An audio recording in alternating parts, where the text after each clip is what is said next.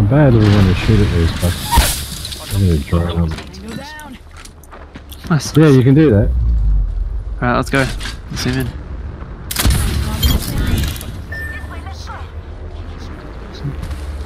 in.